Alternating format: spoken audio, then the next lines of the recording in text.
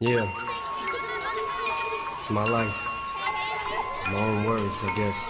Have you ever loved someone so much you giving on for? Not the expression, no, literally giving on for. When they know they're your heart and you know you are their armor. And you will destroy anyone who would try to harm her. But what happens when karma turns right around to bite you? And everything you stand for turns on you to spite you. What happens when you become the main source of a pain? Daddy, look what I made. Dad's gotta go catch a plane. Daddy, where's mommy?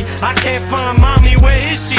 I don't know. Go play, Haley, baby. Your daddy's busy. Daddy's writing the song. The song ain't gonna write itself. I give you one underdog, and you gotta swing by yourself.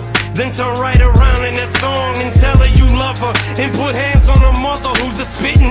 image. That Slim Shady. Yeah, baby, Slim Shady's crazy. Shady made me, but tonight Shady's rockabye baby. Huh.